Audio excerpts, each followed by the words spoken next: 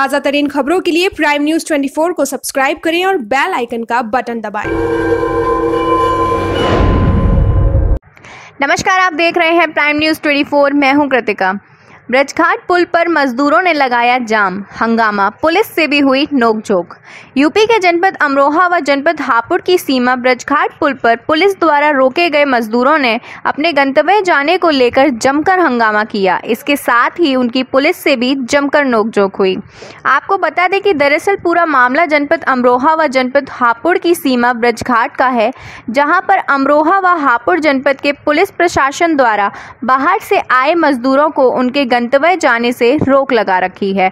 अमरोहा की सीमा में प्रवेश करने से रोकने पर उन्होंने गंगा पुल पर हंगामा करते हुए जाम लगा दिया।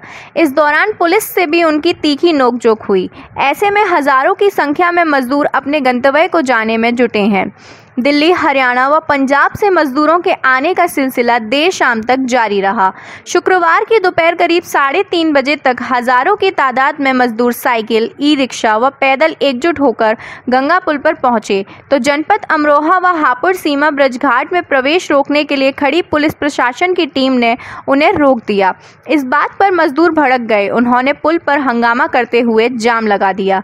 इस दौरान पुलिस से भी तीखी नोकझोंक हुई, जिसमें मजदूरों में आक्रोश आक्रोश भी देखने को मिला। हंगामे का क्रम शाम तक जारी रहा। शाम तक की वहाँ मौजूद मजदूरों की संख्या की अगर बात की जाए तो हज़ार से पंद्रह सौ के लगभग वहाँ पर लोग मौजूद थे। प्राइम न्यूज़ 24 के लिए अमरोहा से काविंदर सिंह की रिपोर्ट।